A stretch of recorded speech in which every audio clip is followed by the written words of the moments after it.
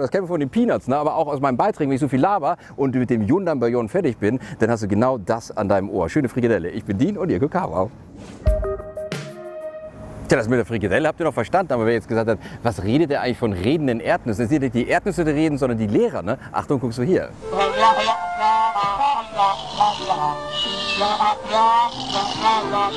Aber Lirum Larum, wir wollen uns heute beschäftigen, wie gesagt, mit dem Hyundai Bayon. Ne? Und der kostet in der Basis 16.790 Euro. Wow, was ist da denn los? Hört sich günstig an, aber Achtung, hier deine Alternativen. Pass auf, es gibt nämlich noch eine günstigere Variante, den Dacia Sandero Stepway ab 11.900 Euro. Nicht ganz preisidentisch, aber zumindest in der Nähe am Nuckeln. VW T-Cross ab 19.870 Euro. Und dann nochmal deutlich drüber, dafür aber auch sehr individuell ein DS Crossback ab 24.790 Euro. Unser Onkel hier, der Hyundai Bayon, Achtung, 1,0 TGDI Prime, äh, Prime ist die Ausstellungslinie, kostet hier, so wie er steht, der Testwagen, Achtung, 27.640 Euro. Boah, ne? Wir wollen natürlich wissen, ob er sein Geld wert ist. Und wir wollen auch wissen, pass auf, muss man überlegen, Prime, die Ausstellung und die ganzen Extras, die drin sind, das sind noch mal rund 70 Prozent Aufpreis zu der Basis. Und wir wollen auch herausfinden, brauchst du den ganzen Scheiß eigentlich? Ne? Und dazu kannst du erstmal schön das Design angucken. Und dann machen wir weiter.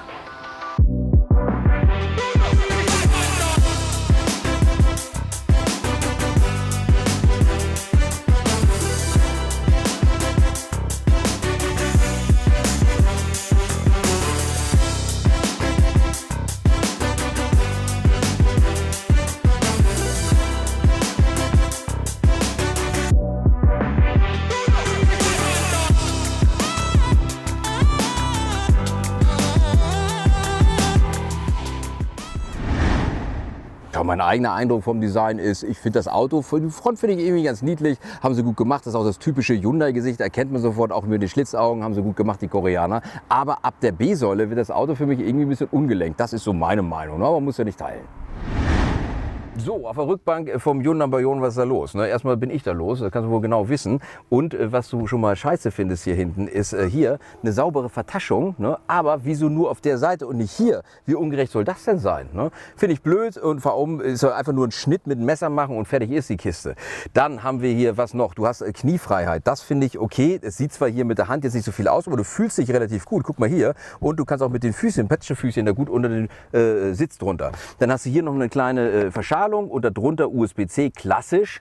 Äh, und was mir richtig gut gefällt an diesem Auto ist, äh, dass du halt einigermaßen okay sitzt.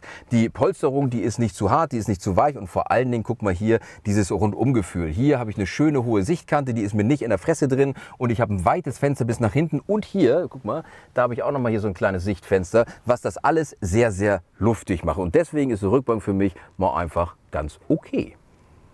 Und was nicht nur okay, sondern richtig geil ist, ist, guck mal hier, ich habe hier zweistufig Sitzheizung auf der rechten und linken Seite, mitten neben dem Fensterheber, genauso wie ich das so habe. Ein Auto dieser Klasse ist das der Hammer wir schauen uns bei laufendem Motor jetzt mal den Innenraum des äh, Hyundai Bayon an. Hier, guck, kannst du mal gucken. Ne? Übrigens laufender Motor, weil es hier unfassbar heiß gerade ist. Wir haben gefühlte 8000 Grad und deswegen müssen wir schön mit der Klimaanlage, Entschuldigung, Entschuldigung, am Freitag werden die ganzen Jugendlichen schimpfen, aber mal ein bisschen durchlüften. Äh, ansonsten mit meinem Fettzut äh, hast du hier nur noch einen nassen Fleck auf dem Sitz. Also, pass auf, was können wir denn hier zur Optik, also Aptik und, und Optik sagen? Äh, als allererstes finde ich mal, äh, Optik, ne, finde ich schwierig in so einem kleinen reduzierten reduzierten Auto will ich auch eine kleine reduzierte Optik haben. Hier haben sie einen Ticken übertrieben, wie ich meine. Weil wenn du hier zum Beispiel mal diese ganzen Lamellen hier anguckst, ja, da haben sie die Lüftung mit aufgenommen, aber das braucht doch keine Sau hier. Und auch da das alles, finde ich einen Ticken zu viel. Aber letztendlich ist das ja etwas, was ihr selbst entscheiden sollt, müsst ihr meine Meinung nicht aufnehmen. Wo wir aber nicht drüber streiten können, sind hier die Materialien. Guck mal hier,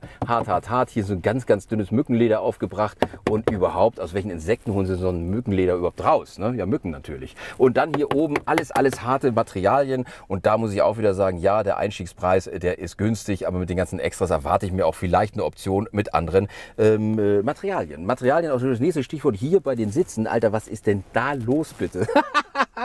Guck mal hier, äh, zwei Sachen habe ich dazu erzählt. Einmal, Ah, ne, es fässt sich so an, wie sich kratzende Fingernägel auf einer Tafel anhören. Ne? Unglaublich. Und dann äh, vom Aussehen her sieht man das hier. Guck mal, so sieht man es. Das sieht aus wie so ein Samtmantel, der über tausende von Jahren abgenutzt wurde. Also Graf Dracula, ihm sein Mantel haben sie ja eingearbeitet. Und weil es nicht so gut aussieht, wollen wir uns lieber darum kümmern, was haben wir hier für Ablageflächers. Starten wir mal hier in die Tür im Klassiker. Da hast du ein Ablageflach, da hast du ein Ablageflach und du hast auch hier dein, guck mal, das ist gar nicht mal so unüppig. Ne? Ähm, ja, hast du eben auch noch dein Handschuhfach, wissen wir alles irgendwie. Aber viel wichtiger, guck mal, hier hast du schön einen Induktionsladeherd, wo du dein Handy irgendwie schön warm machen kannst. Und da drüber, wenn du da keinen Bock drauf hast, machst du mal lieber schön USB-Anschluss und 12 Volt hast du auch noch mal. Ne?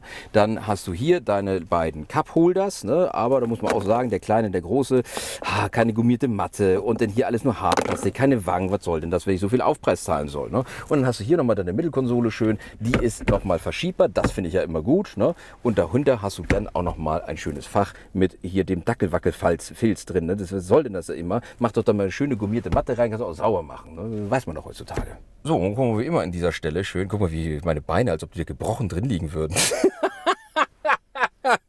Immer wieder diese Ablenkungsgeschichten. Also pass auf, wir haben hier schön ein Multifunktionslenkrad. Das sollst du auch immer schön in Serie hier bei diesem Kraftfahrzeug bekommen. Und ich finde das optisch äh, ganz schön ansprechend. Warum? Weil es so schön reduziert ist. Na, reduziert ist auch geil. Und trotzdem hast du hier all deine Knöpfe, die du brauchst. Guck mal hier schön. Und nicht irgendwie mit Klarlack und sowas. Das ist der Augenkrebs von Chris. Oder hier mit irgendwelchen komischen Chromspangen. So wird das doch gemacht, Freunde. Und dann ist es auch noch gemacht hier schön in herrlichem Leder. Hier mit der schönen Ziernähte und alles dabei. Und äh, es ist auch beheizbar. Aber Achtung, das kostet schön Aufpreis. Beziehungsweise du musst das richtige Paket dir auswählen. Und wir haben es natürlich, wir haben Prime, schöne dicke Ausstattungslinie. Und dann kriegst du es einfach mal mit. Was du auch mitbekommst, äh, ist hier eigentlich ein ja, ne, klassisches äh, Rundinstrumenten digital, äh, Rundinstrumenten-Cockpit, also quasi Tacho-Einheit.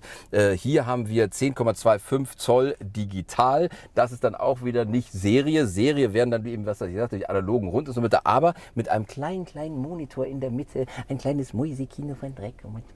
Toll. Ja, haben wir aber gar nicht und deswegen reden wir lieber hier über den Onkel. Weil der Onkel, der kann was, kannst ein bisschen irgendwie noch ein bisschen rumspielen. Was du natürlich auf jeden Fall ganz cool hast, wenn du hier auf deine Drive-Mode gehst, Imsen hier, dann hast du, kennen wir aber auch von Hyundai, die klassischen äh, Hyundai digitalen Springgeschichten, Eco, Komfort. Guck mal, Komfort erinnert mich in jedem Hyundai immer an äh, einen Maybach. Ne? Ich weiß, ich habe einen an der Marmel, aber ist einfach so. Und dann Sport hier auch nochmal, also ein bisschen was hast du da irgendwie als äh, Mäusekino nicht, sondern als richtiges Kino. Und das andere Kino, das gucken wir uns jetzt an. Jo, was kann er jetzt hier, der Onkel? Ne? Er kann das, was man heutzutage eben können muss. Aber eins finde ich ganz geil, du hast hier schön nochmal einen Knopf für Lautstärke und auch für Stumm oder ganz ausmachen, will ich haben. Dann hast du hier deine kleinen Touch-Geschichten, wo du mit in die Menüs reingehen kannst. Guck mal, ich gehe mal hier auf Navigation und es gibt keinen Home-Button, finde ich immer bescheuert. Auch im Ionic 5 hier oben haben wir irgendwie das Video zu, das Review. Da kannst du mal reinklicken, hat er auch nicht. Aber du musst mal sagen, du kannst ja hier relativ gut, wo ist er denn jetzt hier? Da wollte ich hin, da, da ist der Home-Button oben und dann kannst du hier überall durch. Was, äh, und das reagiert auch schnell, wie man sieht. Ich will in die Tiefe gehen, viel geiler will ich erzählen, dass, Achtung, äh, in der Serie, da bekommst du 8 Zoll und da kannst du dich wireless mit deinem Kabel verbinden. Hier 10,25 Zoll ist das große Navi, da geht das nicht. Wie ist da denn los? Ne? Ansonsten wollen wir uns aber jetzt eben mit einem Kabel verbinden, um uns gemeinsam hier das da unten anzuhören. Wo sehe ich es denn? Wo sehe ich es denn? Da oben sehe ich es. Nee, da sehe ich es auch nicht. Wo sehe ich es denn? Hier, pass auch mal hier. Da. Der Bose Soundanlage.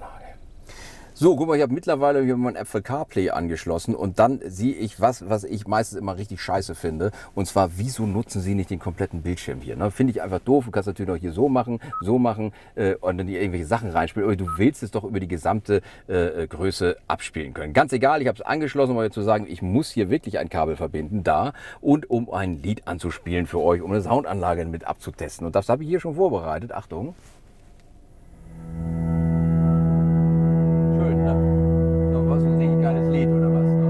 Gleich los, pass auf.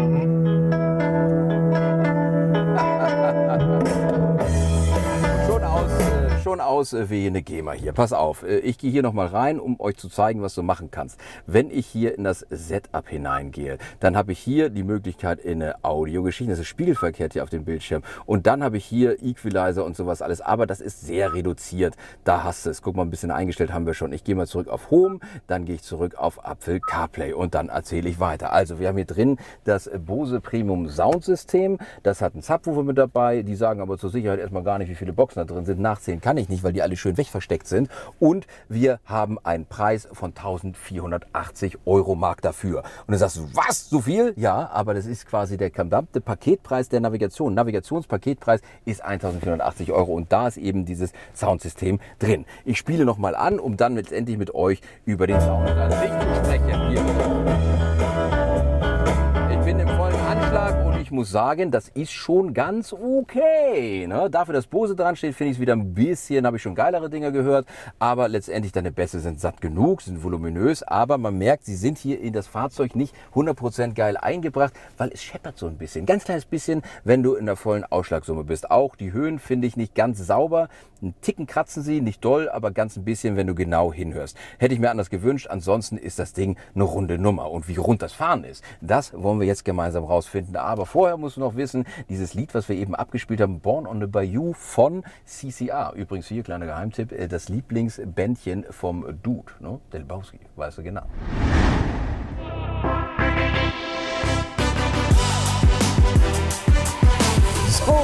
Hier für einen kleinen, kleinen, kleinen, kleinen Motor? Und hier aus dem Überraschungsei haben sie ihn rausgeholt. Ein 1 Liter Dreizylinder Turbo-Benziner und der leistet 120 PS und hat ein maximales Drehmoment von 172 Newtonmeter. Das liegt schon bei 1500 Umdrehungen an. Kannst mal gucken. Ne? Und so hast du dann eine Maximalgeschwindigkeit von 185 km/h. Das traut man dem Auto gar nicht zu. Fühlt sich auch ab und zu ein bisschen wackelig an, wenn du auf der Autobahn unterwegs bist mit der maximalen Höchstgeschwindigkeit. Aber was ganz witzig ist, ist, dass du in 10,4 Sekunden auf 100 bist. Das dauert mal richtig lange und es fühlt sich im Auto auch richtig lange an. Aber dafür hast du dann auch nur einen Verbrauch von 5,5 Litern. Super auf 100 Kilometers. Ne? Ich habe hier in meiner Tankuhr gerade stehen Durchschnittsverbrauch von 5, wer errät es? 9 Litern. Und woran liegt das? Weil ich hier die ganze Zeit schön im Achtung Sportmodus unterwegs bin. Und wie sich das Auto fährt, agil oder nicht so, überhaupt fährt es sich, das sehen wir ja. Da wollen wir jetzt mal kurz gucken. Ne? Und wo wollen wir irgendwie hin? Wir wollen wissen, wie fährt sich das Auto.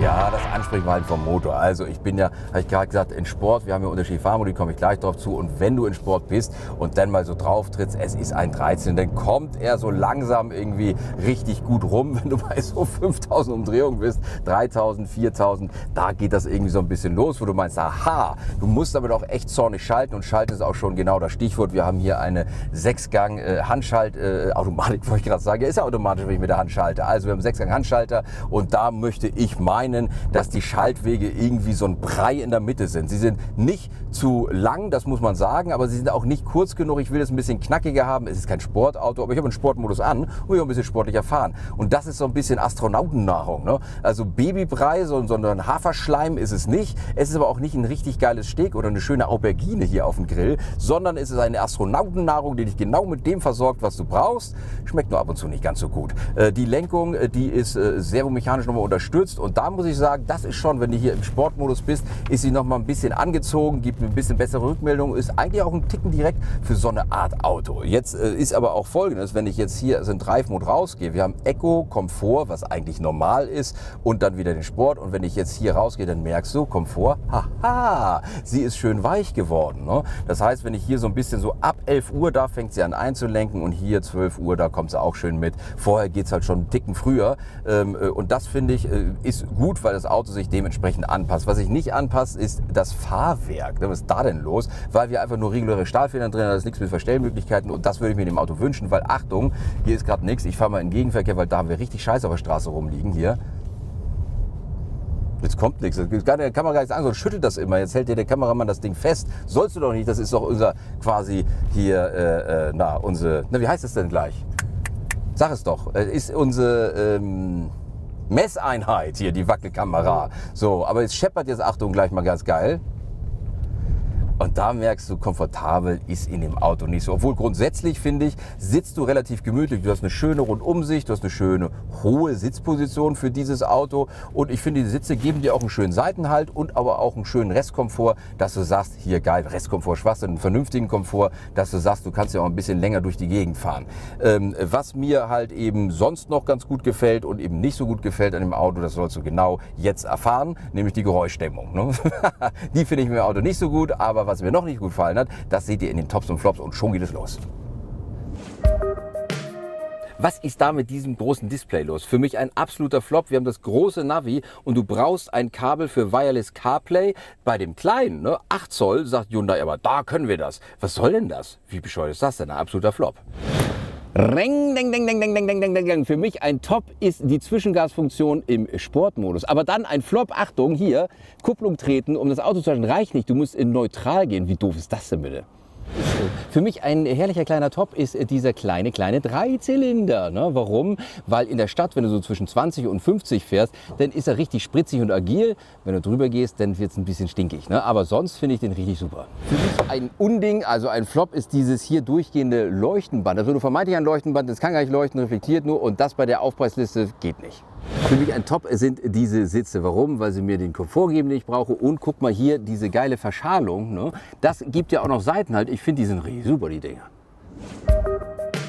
So, kommen wir noch ein Fazit hin für den Hyundai Bayon als 1 Liter TGDI in der Prime-Ausstattung. Prime-Ausstattung ganz, ganz wichtig, weil wir auch gleich darauf eingehen. Also, als allererstes, was finde ich, was halte ich von dem Auto? Ich finde, designtechnisch tut es niemandem weh, das Fahren tut niemandem weh, das Sitzen tut niemandem weh, das Auto tut einfach niemandem weh, aber ist es sein Geld wert? Ja, es ist sein Geld wert, aber nur in der Basis, wie ich meine. Ne? Denn für rund 17.000 Euro sagst du, geile Nummer, aber Achtung, und das war die zweite Frage, die beantworten, ist denn ihm überhaupt das, das wert, wenn du fast fast 28.000 Euro für so eine Testwagenkiste hinstellst. Ich sage nein, auf keinen Fall. Diese ganzen Extras, die brauchst du nicht wirklich. Ich bin sowieso ein Autofan in reduzierter Form. Ne? Vier Reifen dran, Lenkrad dran, fertig und los geht die Schisse. Ne?